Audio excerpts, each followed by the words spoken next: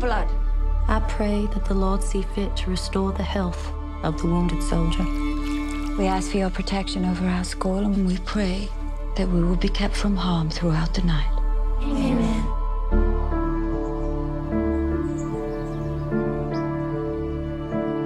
Seems like the soldier being here is having an effect. If you could have anything in the world, what would it be? To be taken far away from here. We can show him some real Southern hospitality. Corporal McBurney's stay here has taught us all a very important lesson. Can I get you anything?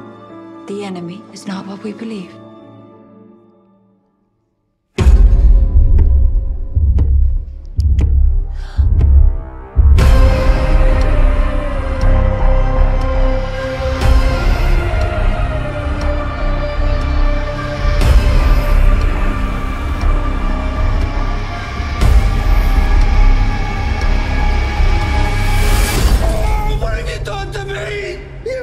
you bitches!